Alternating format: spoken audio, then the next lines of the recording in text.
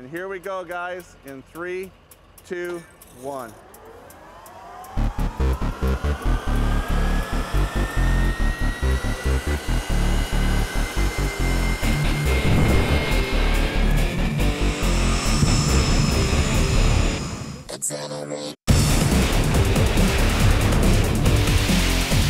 When I'm going down the quarter mile, there's only one thing I'm looking at, and that is the finish line. I want to get there first, I want to beat my opponent, and I want to be there shiny side up.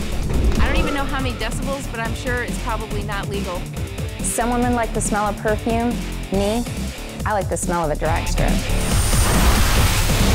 It takes so much energy to make something move like this. You're talking zero to 100 miles an hour in one second. There is nothing that makes me more comfortable than strapped into my race car. This is my office. This is where I go to work.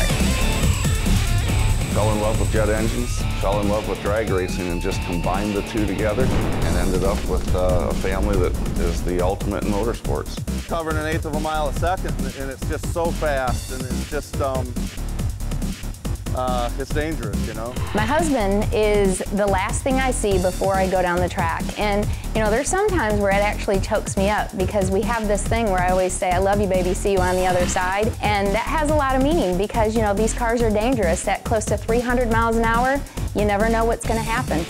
Don't crash. We're going to make more horsepower than the first four rows at the Daytona 500 at NASCAR. What just took us 20 seconds, she's coming back here in four.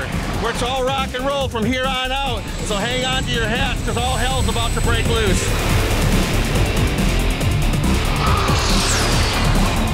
I'm getting all excited just talking about it.